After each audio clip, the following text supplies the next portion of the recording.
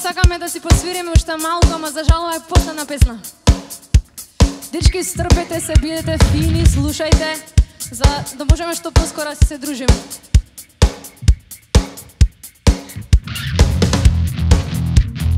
А ова е нешто македонско, by the way, за крај.